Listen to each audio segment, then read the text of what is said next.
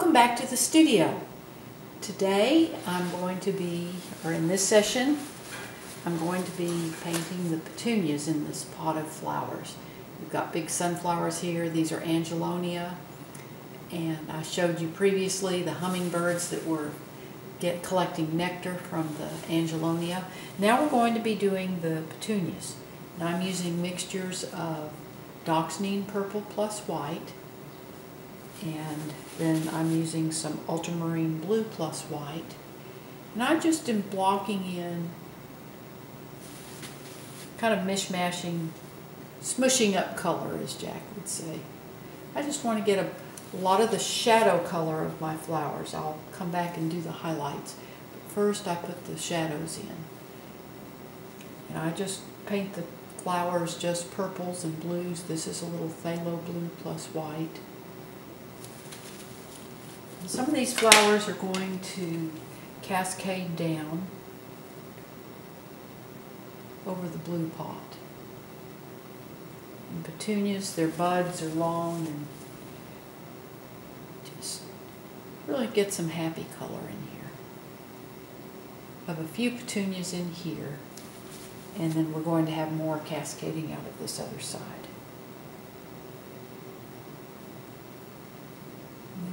Get a little bit of purple up in here behind the yellow sunflowers. Purple is the complementary color to yellow, so that'll make the yellow appear brighter. Complementary colors are colors that are across each other on the color wheel. And by placing complements next to each other, it makes the colors appear brighter. I have a few little pieces coming up in there.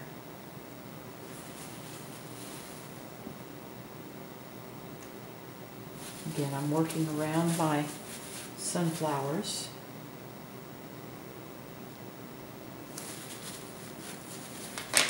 Make another batch of my phthalo blue plus white that's just a little bit darker.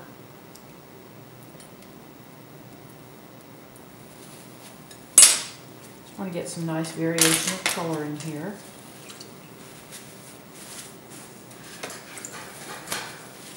My brush clean, I wipe it out with tissue. The secret to nice, clean, crisp colors on the canvas is to have a clean brush. Yeah, this I like this. Get a little bit of that darker phthalo blue in there. Just adds nice little color variation. Color surprises. Look at a few little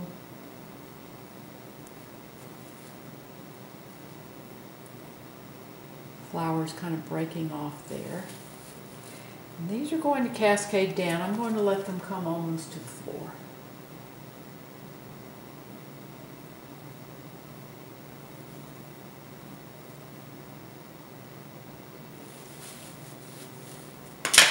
Got a little smaller brush here. This is a bright brush. It has a square tip. I'm kind of get it straighter here. It has a square tip, and I like these because they just I can form the flowers the leaves, I can make a broad stroke with the flat edge or with the corner, I can make a smaller stroke.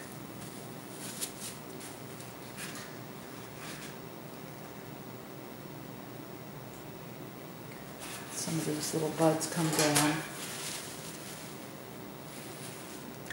Little breaking off the canvas here. That tape protects my frame. The frame is I'm, I'm working on a gallery wrap canvas and the frame has been painted on with a white acrylic that I just tape off the edge of the size frame I want. Then I come back, paint it with the frame, the white, pull that tape off and then I have my canvas exposed on the inside and then I just put my blue painter's tape over the frame to protect it as I'm painting. Then I can, when I'm done, I just pull that tape off and the frame is nice and clean.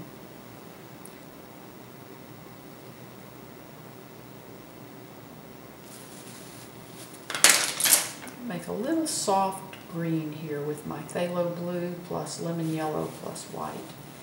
Some of those white flowers just get kind of almost a green tinge to them. Let me use my little bit smaller brush here.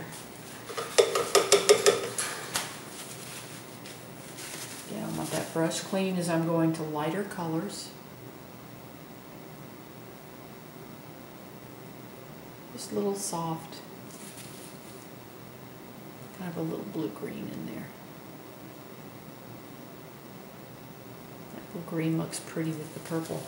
Now, I'm going to come back in now and paint my foliage around the flowers. This is a mixture of phthalo blue plus lemon yellow. Gives me a nice bright green. I can just start working around those flowers. Bring some darks in there.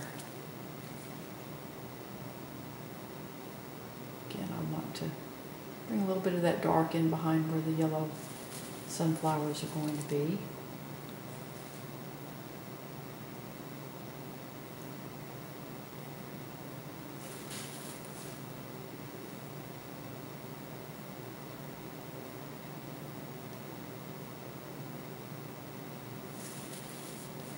Use the green to help shape the flowers.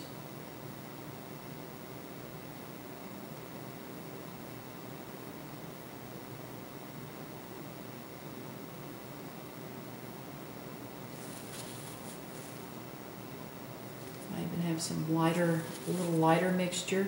Now you can see I'm using the corner of that brush to make the little small leaves here. They're catching the light.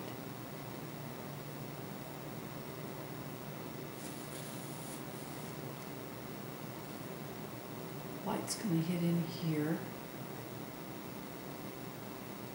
And this area is pretty well going to be in shadow, so these I don't want as much light lighter green. I have some of this, but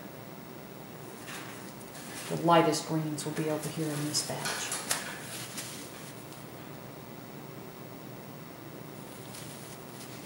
Now I've saved some of my wall color, and I'm going to come back in now and just got a little bit dark there. Bring some of my wall color in here. Little holes in the where the wall peeks through that the flowers there.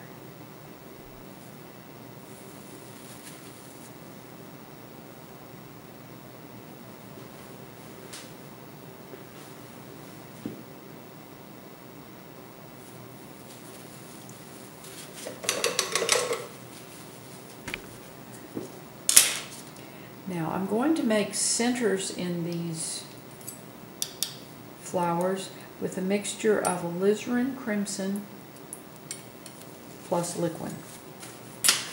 This gives my deep centers. The centers are just a nice dark. Come back in.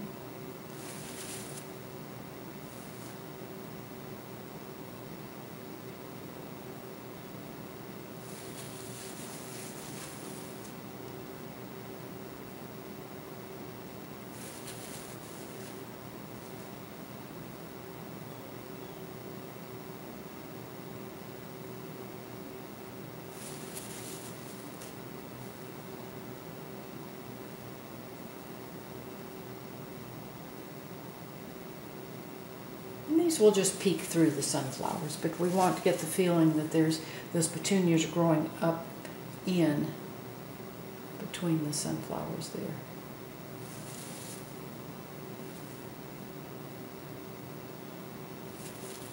And that alizarin crimson just gives a nice red center in there. I clean my brush each time, so I don't want to, because it picks up, see how it picks up the white? So I have to clean it so that I get my, keep my dark, dark red in there. This is just plain old bathroom tissue, uh, really the cheapest we can buy. Buy it in rolls of 24 and because I use a lot of it. You want to get a big enough clump that you don't get paint all over your fingers. Can't use just two or three little squares. You need, you need a pretty good clump.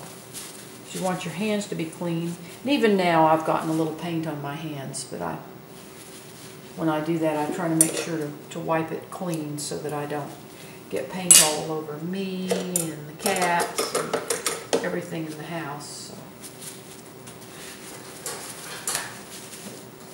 I do, wipe, I wipe my brush two or three times and then it's time for a new, new piece of tissue. Okay, I'm going to start adding the highlights on my flowers. Now again, our light is coming in from the right, from this direction. So, now see how that white pops with those darker colors. Can't have dark, ha can't have light without dark.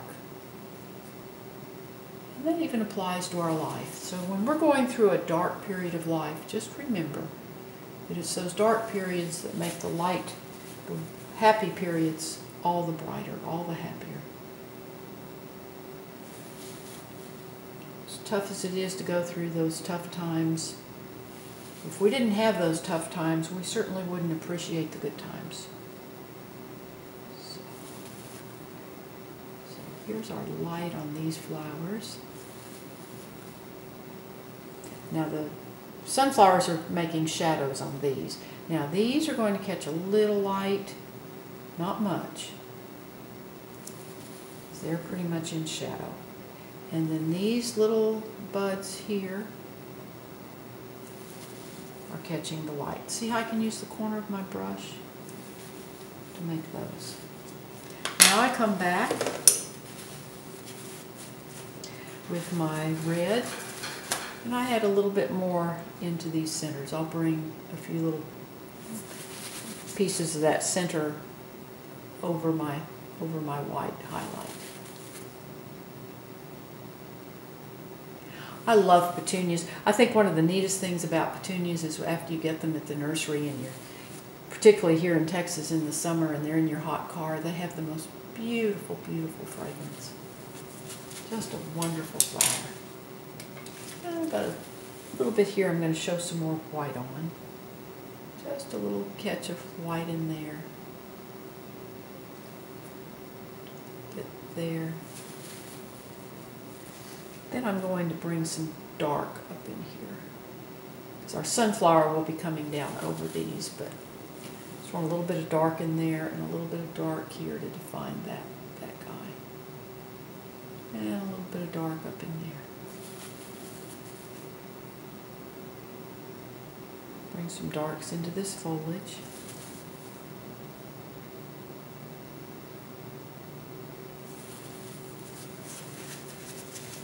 We'll bring a few little light leaves in there. Now I'm going to make a little bit of lighter, use my lighter Phthalo Blue Plus White come back and add a little bit of lighter onto some of these that are in shadow, but it just gives a little more definition. And then this is also some of that little soft green. That's almost too light. I may leave that, that kind of looks good. And then I'm also going to use a little bit of my purple.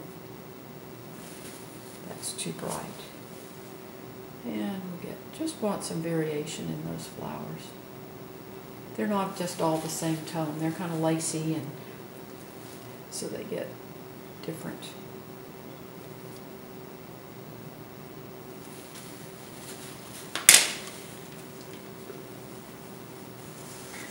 Okay, I'm going to go back in and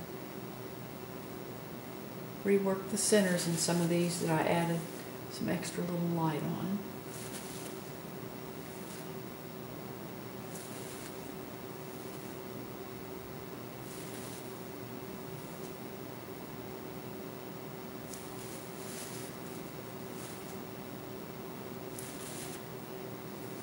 And the last step on doing these petunias is I'm going to throw a few little petals on the ground.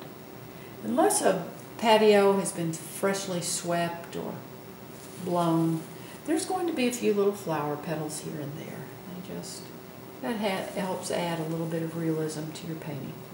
Just get that feeling. There's, even this one will have a little stem on it.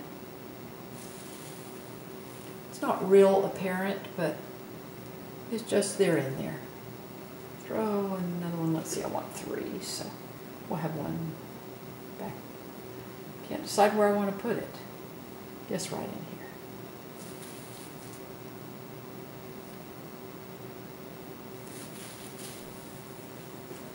And there's our petunias.